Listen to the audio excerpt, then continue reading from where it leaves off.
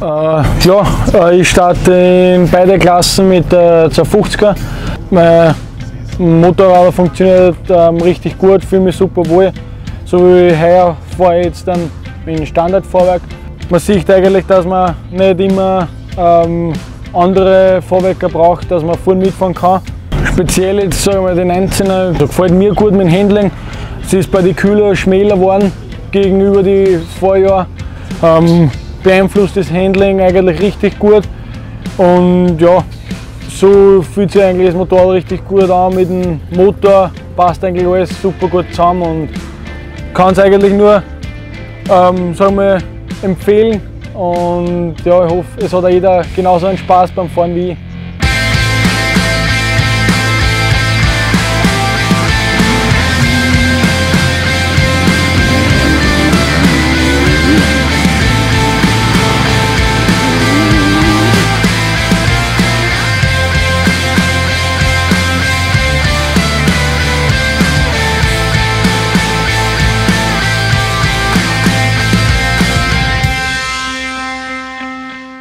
Zum Motor und zum Rahmen, ähm, ich finde, dass die neue, die 219er extrem handlich und äh, so schön zum Fahren. Ähm, der 250er Viertaktmotor hat extrem viel Leistung im Verhältnis äh, zu anderen Motorradmarken.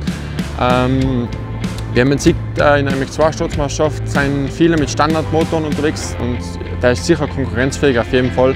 Und ich kann mir nichts anderes vorstellen, äh, das ist für mich das Nonplusultra, sagen wir mal so. Und vor allem jetzt die 19er, die neue, für mich 100% zufrieden.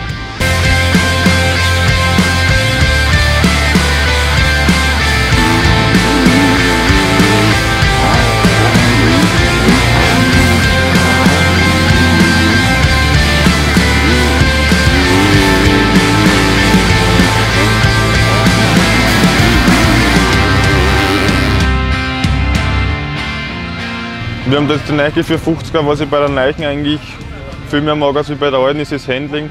Sie ist einfach fahrbarer, ich sage jetzt einmal ähnlich wie 250er. Sie liegt schön in die Kurven, sie fällt rein. Sie hat es nicht so, dass sie eben so aufsteht. Ich finde auch vom Motor her, sie ist einfach fahrbarer. Du brauchst nicht mehr ganz so viel Kraft. Und es ist alles in allem einfach ein richtig geiles Motorrad und es macht einfach Spaß.